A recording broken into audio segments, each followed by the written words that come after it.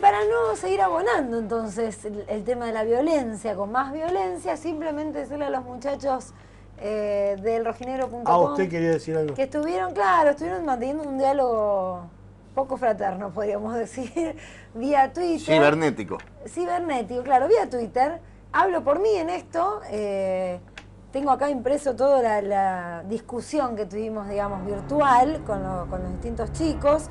Discusión que a mí me, halaga, eh, me encanta, me encanta porque habla de la democracia justamente en la cual mm. vivimos. Simplemente aclararles, estas imágenes que estamos viendo las tomamos cuando en su momento autoconvocados, ahí vemos la bandera de hecho, se agolpaba de a poco, de a poco, primero eran 10, 20, 30, después la verdad que fueron decenas y cientos que llevaron a la gestión que está actualmente al frente de la entidad rojinegra y que hacían sus marchas en Moreno y Córdoba a las 19 horas, de hecho hay un corto, un cortometraje que tiene ese nombre, que después hicieron los chicos con el compilado de esas marchas, y la cual Cable Hogar a través de sus equipos las cubrió, yo no diría todas, un 90%.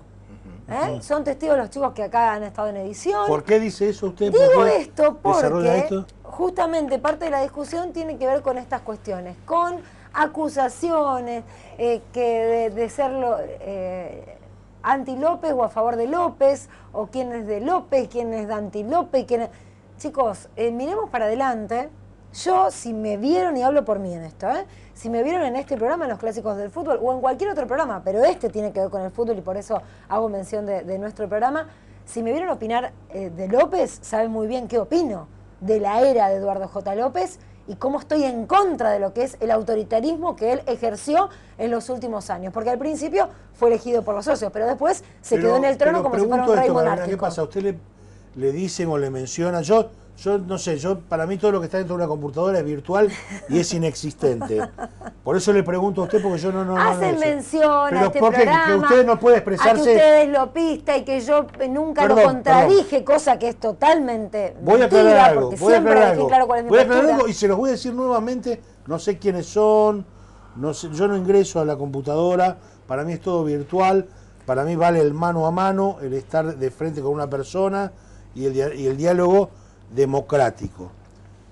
Yo sigo expresando lo que expresé el primer día y no lo defiendo Eduardo López y cometió un montón de errores en la vida social, pero en la vida futbolístico, futbolística está tres o cuatro escalones por sobre esta comisión directiva.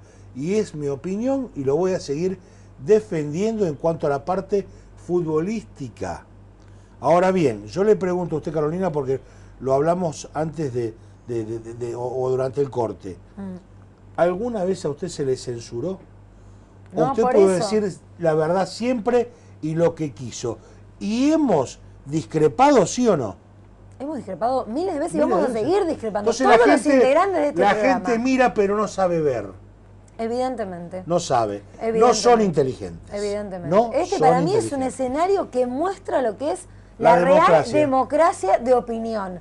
Él opina una cosa, yo opino otra, Fernando, Eduardo y Ricardo también opinan cosas distintas y eso es lo interesante, lo nutrido de un tema, que cada uno tiene su propia postura. Entonces, muchachos, a discutir a otra parte, a engendrar violencia a Y voy a cerrar con esto y les voy a enseñar algo, porque les voy a dar una pequeña clase de periodismo a todos esos que opinan y no saben ni escribir, ¿eh? porque no saben escribir. Eh, yo le hice una nota a Eduardo López en el año 2008 y se la haría nuevamente. Y el ABC del periodismo es justamente eso, hacer la nota con quien sea. Y si yo hubiese tenido la suerte de hacerle una nota, porque hubiese sido otro tipo de periodista, a Jorge Rafael Videla se lo hubiese hecho, a Hitler lo mismo, a Dios y a el diablo eso que quede muy en claro, porque es el A, B, C del periodista. Cuando Sergio Laflor hizo la nota a Eduardo López, salió publicada no solamente en la ciudad de Rosario, sino en todo, en todo el país y en el exterior, porque nadie le hacía una nota ni podía hacérsela a Eduardo López. Y quiero aclarar algo. Eduardo López es muy vivo y muchos creen que yo le dejé la pelota picando para que él concretase goles.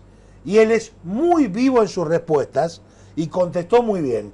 Entonces, el que está de este lado, por ser periodista, no quiere decir que sea más inteligente que el entrevistado. ¿Está claro? Se lo dejo para todos, para que cada uno lo tome y lo analice. ¿Está claro? Pero yo a ustedes no los hostilizo, ni los molesto, ni los trato mal. Nada más que eso.